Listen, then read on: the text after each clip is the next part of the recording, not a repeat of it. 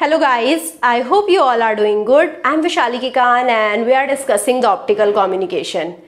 Today in this video, we are going to talk about the laser structure and its radiation patterns.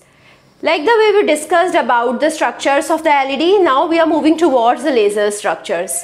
So we are discussing the different laser structures so as to provide the best efficiency right? We talked about the external quantum efficiency the internal quantum efficiency. We want to increase the overall total quantum efficiency and for that we are finding out which structure would be the best. Right? So let's understand how to increase the efficiency. So efficient operation of the laser would be happening if i have the transverse optical confinement right? So the optical power is confined in the transverse direction or I can say the carrier confinement is in between the two heterojunctions. So in these two manners I can have the optical confinement then we can have the lateral current flow to the narrow strip only and with the help of this I can have the current confinement. In this video I will be talking about the optical confinement. In the next video we will see how we can have the current confinement in between the narrow strip between the two heterojunctions. So we are having the lateral current flow to a narrow strip only. This is called the current confinement and the carrier confinement between the heterojunction is called the optical confinement. So I hope now you understood what is the goal. We have to confine the optical output power. We have to confine the input current as well so as to stabilize the gain. The gain should be stabilized. The threshold current that we are giving should be as minimum as possible. We want to operate our devices at lowest power and for that I want to give the less current to the device. And I want to decrease the threshold current to operate the device at a lower power. Now coming to the optical confinement method. So first method is the narrow electrode strip. We can use the narrow electrode strip. You can see this figure. Here we have used this metallic strip. And this metallic strip is less than 8 micrometer and it runs along the length of the diode now this is the metallic strip this is my diode above the active layer I have placed the metallic strip and this is the active layer and now here you can see we are having the carrier flow in this direction only below the strip. So what it does, it changes the refractive index of the active layer directly below it. So we have the metallic strip directly below it. The refractive index would be changed. So carrier will be flowing in this refractive index only and this is how we are getting the lasing spot here only. Right? So we will be having weak complex laser by this method by the narrow electrode strip I am not getting the good lateral confinement so this also is known as gain guided laser because I have changed the refractive index or I have changed the gain and where the gain is maximum the LED will be operating in that place only. So now the power is greater than 100 milliwatt but it will be having the strong instabilities and it will be having high astigmated two peaked beams. You can see this structure we have two peaks at minus 20 and the 20 degree. So we don't have the single peak of the lasing output. What we want the laser output should be having a single peak right but in this uh, case it is not possible to have the single peak we have two highly astigmatic peaks and we will be having strong instabilities also. So because of these limitations we are now moving towards the next type of method that which is the index guided laser right? So index guided laser will be having the refractive index variation. We are doing the refractive index variation and the refractive index variation is going to control the modes right? Where I change the refractive index the modes are going to change.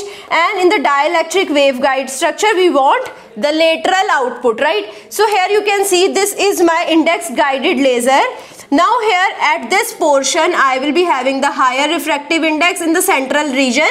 I will be having the lower refractive index. I can have reverse also in the central region. I can have the lower refractive index. In the outer region I can have the higher refractive index or in the central I have higher refractive index, outer region lower refractive index. So both possibilities would be there and due to which the index guided laser will be having positive index waveguide or the negative index waveguide among which the positive index waveguide is more popular right? So the single mode laser will support only the fundamental mode or which can support only the fundamental longitudinal mode right? So here I can say by making the index guided laser in such a manner that it support only one mode that is the fundamental longitudinal mode. We are going to talk about this in the later video as well.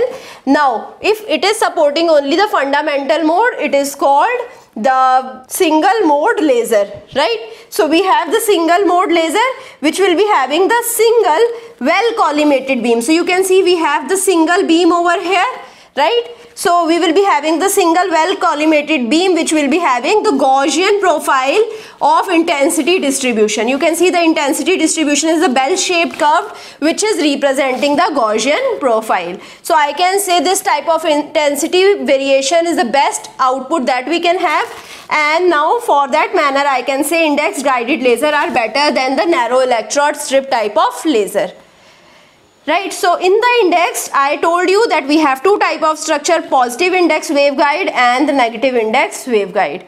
Right in the positive index waveguide the central structure is having higher refractive index than the outer structure and in the negative index waveguide the central structure is having the lower refractive index than the outer structure.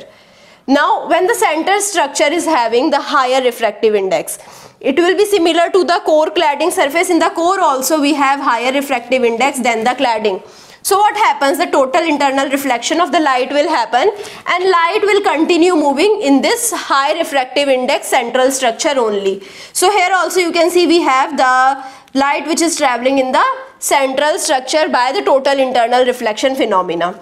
So now here the light is reflect, reflected at the dielectric boundary due to the total internal reflection because the outer surface is having the lesser refractive index and we will be having the better output with the help of the positive refractive index waveguide. Now with the help of negative refractive index waveguide, if the central structure is having the lower refractive index than the outer structure with the reflection we will be having the possibility of refraction as well. So light also refracted plus refraction will also be there which causes the light to be emitted out of the structure. So when light goes out of the structure we will be having some losses right? So a narrow side lobe will be present in the addition to the main beam. So you can see here we have the narrow side lobe. So this is the negative index structure. This is the positive index structure output you can see the radiation pattern. We have these side lobes which are undesirable and for that manner I can say the positive refractive index structure is more beneficial. This is more useful right? So now we have the buried heterostructure buried heterostructure will be having the varied thickness. We have four types of refractive index structure which are going to give me the best output. Uh, we have to see what kind of four structures that we can make for the positive refractive index structure. First is the buried heterostructure. The buried heterostructure will be having the varying thickness and the bent layer configuration. You can see this is my buried heterostructure laser diode. We have the short wavelength gallium aluminium arsenide buried heterostructure laser diode. Then we can have indium gallium arsenide phosphide device as well or I can say to be indium phosphide. So indium phosphide device is used for the higher wavelength and the gallium aluminium arsenide device. Heterostructure device is used for the short wavelength. And now here you can see this structure I have made for short wavelength gallium aluminium arsenide. So you can make the similar structure for the longer wavelength for indium phosphide as well right so this structure is working for 800 to 900 nanometer.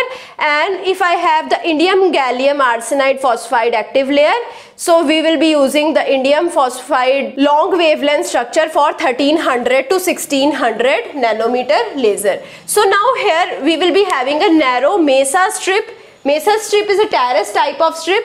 So a narrow mesa strip will be there of 1 to 2 micrometer. So you can see the structure here. You can see we have a narrow mesa strip in double heterostructure material. Now here we have the N-type material, N-type doping, increased resistivity, appropriate band gap and decreased refractive index. So now here you can see in this structure, this is the n-type gallium arsenide substrate. Over that we have n-type gallium aluminium arsenide distribution. Now here we have the confining layer. Confining layer of n-type gallium aluminium arsenide and above confining layer of p-type gallium aluminium arsenide. Now we have the active layer of p-type gallium arsenide. So now active layer here is p-type gallium arsenide. For indium phosphide I will be having indium gallium arsenide phosphide active layer over here. Now here you can see we have the silicon dioxide layer and this is the contact layer of p positive gallium aluminium arsenide. So this is the first structure that we have. Now the second structure is the selectively diffuse structure. Now in the selectively diffused we are using a chemical dopant. Now chemical dopant is diffused in the active layer below the strip. You can see this is the structure of the selectively diffused. Here we are diffusing the chemical dopant like the zinc or the cadmium. Now here for the gallium arsenide, gallium aluminium arsenide substrate I am using the zinc and for indium phosphide I am using the cadmium. Now I am doping with the chemical dopant zinc or cadmium in active layer and when I dope it so from here only I am getting the lasing optical output so you can see the output has confined to this portion only. In this case the output has confined to the active layer only and in this case at this spot only the output has confined. Now coming to the varying thickness structure. In the varying thickness structure as the name suggests its thickness is varying right? So how the thickness is varying. You can see here the thickness is varying and now the channel is etched into the substrate right? So we are etching removing out the channel and then we are putting the layer of crystals with the help of vapor phase epitaxy. So now layer of crystal are then grown onto the channel. First the channel is etched and then the layer of crystals are grown. And now it is going to have some varying thickness by filling the depressions. When the crystals are grown all of the depressions which are caused are filled and the perturbations are edged out. And due to which I will be having a varying thickness. At, at the location I am having the varying thickness I will be getting the lasing spot and you can see here I have confined the lasing output. Now then I have the bent layer structure. In the bent layer structure you can see we have two uh, refractive index materials so a mesa etched on the surface and semiconductor is grown over this. So mesa is a low refractive index surface. So here you can see here we will be getting the lasing spot over which my continuous height would be there right here the height is varying here the height is varying so lasing spot is present where the height is continuous for this mesa spot and the semiconductor material so mesa spot is a terrace kind of thing over which I can deposit the semiconductor material. So constant thickness of active layer would be there. Here you can see the problem was that the thickness of the active layer was not constant due to the deposition the thickness was changing but here you can see when I am depositing the semiconductor over the mesa I have the constant thickness throughout and we will be having the increased output power. Because the light is going to confine more in this case and this would be the best case among the three. And now I want to restrict the drive current. The second thing that I want to do was the confinement of the current. With the help of these four method I have confined the optical output, I have confined the light. Now in the laser I want the location or the confinement of the light for as small area as possible. So let's suppose this is the region on the semiconductor from which the light is emitting out. So if I want to decrease this region then I will be getting best and best output. I want to make this region as small as possible. Now I want to confine the input current as well. So now when I want to confine the input current, I will be getting the 60% of the current which is converting into the output, lasing output.